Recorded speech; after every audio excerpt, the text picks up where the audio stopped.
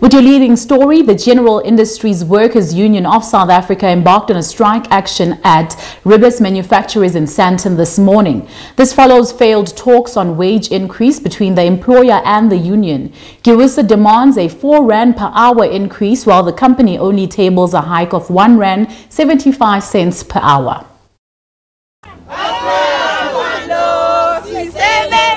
Babeke phansi amathuluzi abasebenzi benkampani ekhiqiza izipayisi okubalwa phakathi imayonesi iviniga kanye nokunye. Ikampani ke ibizwa nge-rivers manufacturers ekhona lana eCleveland esentini. Labasebenzi bathi isikhalazo sabo esikhulu ukufuna ke ukunyuselwa umholo ngo-4 rand ngehora kanti ke umqashi usichithile lesi sicelo. Abasebenzi in this company bathola i-minimum wage all these years. Abakaze bathole increase actually increase njengabantu abasebenza embonini ekhiqiza imikhiqizo efana nale ekhiqizwa la ekhaya.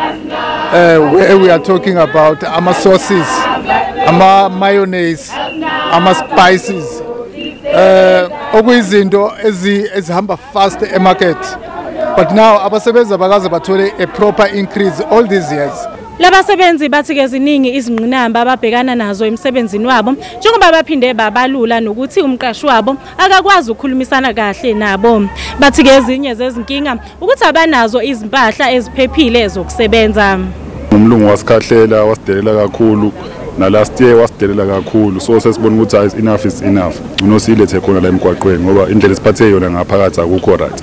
Sifila bed sisikhosi abanye abaningi siyasupport emakhaya abanye abaningi siyarenta la sihlala khona abanye bayagibela ugesi ukhuphukile nokudla kukhuphukile etoro so le mali athi usinikeza yona incane kakhulu ayenzi lutho. Umqashi ke walabasebenzi uzivalele ngaphakathi emahhovisi alenkampani kanti ke nonogada banikezwe imlayezo yokuthi kungangeni umuntu esangweni. Ezindabeni ze Soweto TV nginokulunga Mthembu ngise Cleveland esentini.